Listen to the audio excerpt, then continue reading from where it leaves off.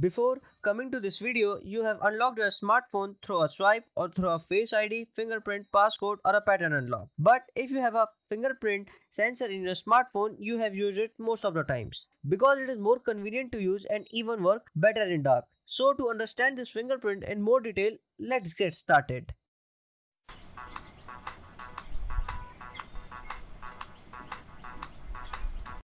First, let's know the key term for this, which is biometrics. So, biometrics are the body measurements and calculations related to human characteristics. So, these provide a way to measure a person's physical characteristics to verify their identity. So, fingerprint scanner are security system of biometrics. Everyone have unique fingerprint. That means fingerprint scanner identify and authenticates the fingerprint of individual in order to allow the access into system or not.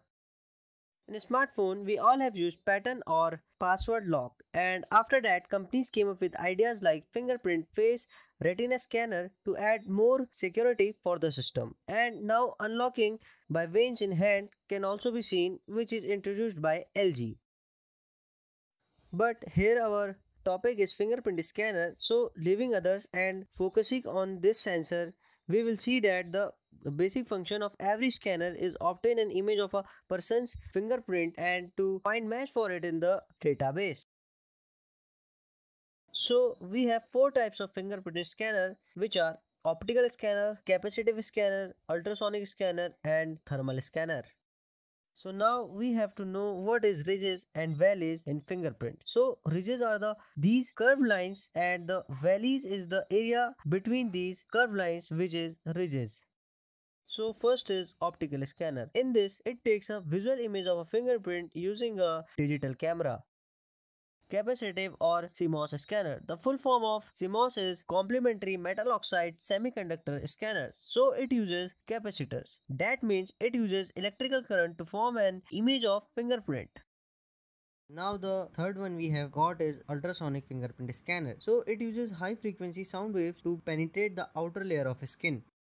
So the last one we have got is it is thermal scanner. So as the name says, it senses the temperature differences on contact surface in between fingerprint ridges and valleys. So with evolution of smartphones, the evolution of fingerprint scanner can also be seen. Like from physical fingerprint scanner to in-display fingerprint scanner. Physical fingerprint scanner can be rear, front or side mounted on your smartphone but front physical fingerprint scanner can minimize your viewing experience. So to enhance it, companies introduce in-display fingerprint scanner. These in-display fingerprint scanner use tiny camera under the screen that takes image of your fingerprint and then compare it with stored image in the database. In-display fingerprint can be optical or ultrasonic. Okay, let me clear most of the in-display scanners we have seen so far are optical scanner.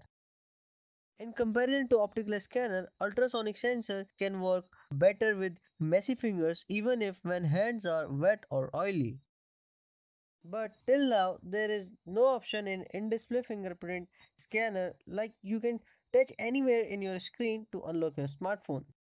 Qualcomm is the first to introduce the world's first 3D ultrasonic in-display fingerprint sensor and the first phone to use this was of Samsung flagship series which is Galaxy S10 and S10 Plus.